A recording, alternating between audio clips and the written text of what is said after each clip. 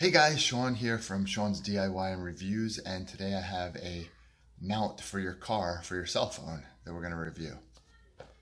Thanks for watching this video, and if you like electronics and other gadget types of reviews, as well as around the house, you know, repair type of videos, definitely subscribe and check out further content. So let's go ahead and unbox this guy and take a look and see how it works.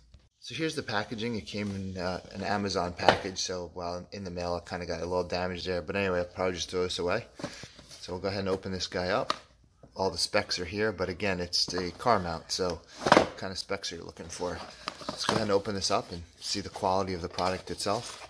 It's wrapped in plastic here. Here's the mount. Let's see what else is in the package. A little plastic separator.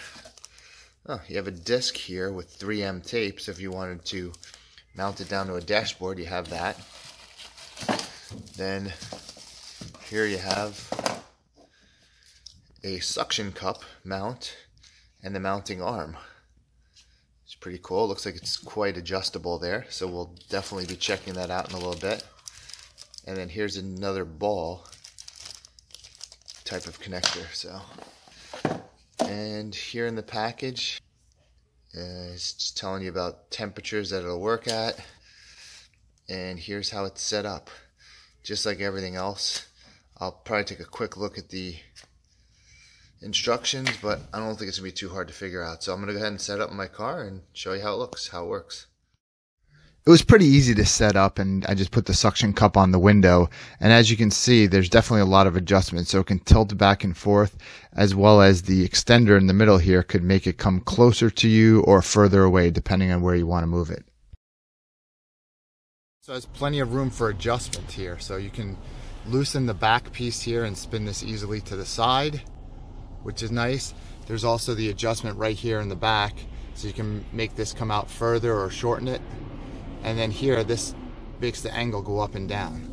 So you can adjust this to all different angles as well. And the other nice thing about it is there's really easy access to the charging port. So that's another good thing to point out.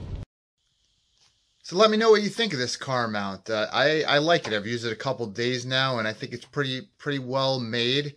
I like the carbon fiber on the front, the ease of access on the charge port. Um, and I also didn't mention before, but the bottom part will come down and up. So if the phone's longer, you can actually extend it down a little bit and have plenty of room so that it's not top heavy above the, the um, above the mount itself. So let me know if this was helpful. Definitely give it a thumbs up. Subscribe to the channel for other reviews that I do. If you're a vendor and you want to send a product to me for me to review, uh, anything electronics related, definitely reach out and we'll see if we can work together. So look forward to speaking to you in the next one. Thanks again for watching.